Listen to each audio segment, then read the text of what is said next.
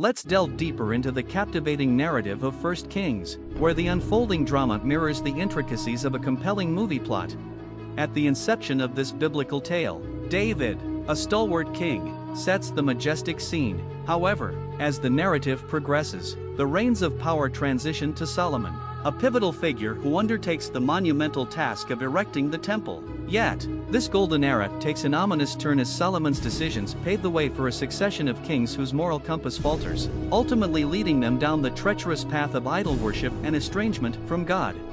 Enter the enigmatic King Ahab, a character of unparalleled malevolence. However, the true orchestrator of darkness lurks behind the throne, the infamous Jezebel, a Phoenician princess turned queen, her allegiance to the Canaanite god Baal is a driving force, as highlighted in the poignant verses of 1 Kings 21 verse 25, vividly portraying Ahab's descent into wickedness, largely attributed to Jezebel's insidious influence.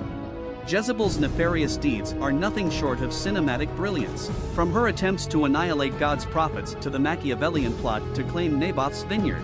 She emerges as a master manipulator, pulling the strings to secure power for Ahab. The Vineyard Saga, a pinnacle of manipulation, exposes Jezebel's ability to control events with cunning precision.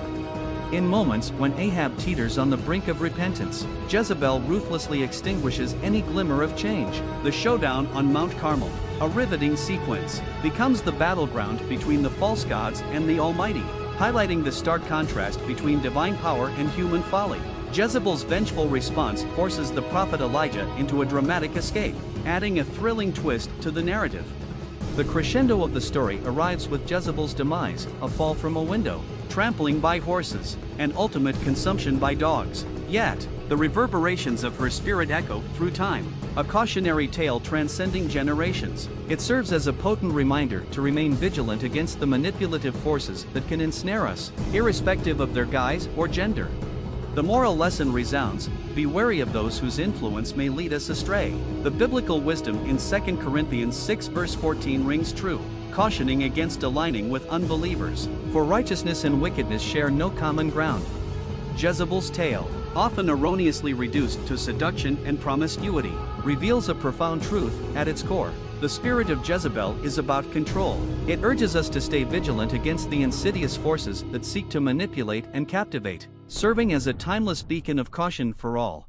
Let's delve even deeper into the captivating exploration of the spirit of Jezebel and its profound implications on power dynamics in various aspects of life.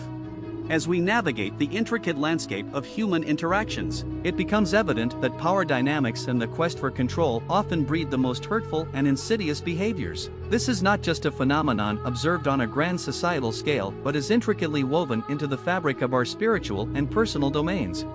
Consider the dynamics within the sacred walls of the church, a space ostensibly devoted to divine principles. Yet, conflicts simmer beneath the surface, driven by the age old struggle for control. It manifests in power struggles between pastors and elders, deacons and choirs, or one ministry pitted against another. This pervasive spirit of Jezebel seeks dominion, creating rifts that undermine the unity the church should embody.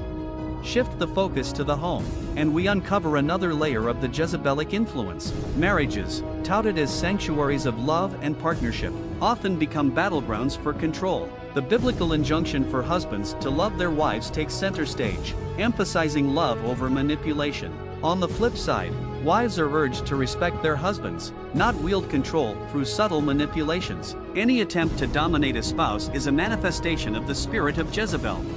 The wickedness and destructiveness of this spirit become apparent when juxtaposed with our relationship with God. Unlike Jezebel's hunger for control, God's approach is marked by invitation, not coercion. The Almighty doesn't force compliance but beckons us to choose willingly. The paradox of a spirit craving control versus a God offering freedom underscores the profound nature of the conflict.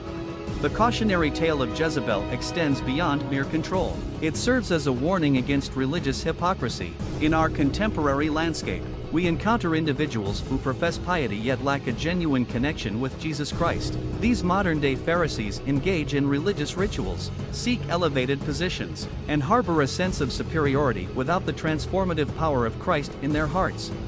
Jezebel's blatant disregard for authority echoes in individuals who challenge divine order. Much like wolves in sheep's clothing, These disruptors question established hierarchies, sow discord in families, churches, and communities, and openly defy God's authority.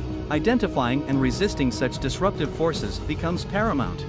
The cautionary tale of Ahab and Jezebel also dismantles the illusion that power and status guarantee righteous living. Despite their influence and close association with prophets, their tragic end illustrates the biblical truth that humility precedes true greatness. The paradoxical nature of this truth, as conveyed by Jesus, challenges societal norms and emphasizes a counterintuitive path to a fulfilling life.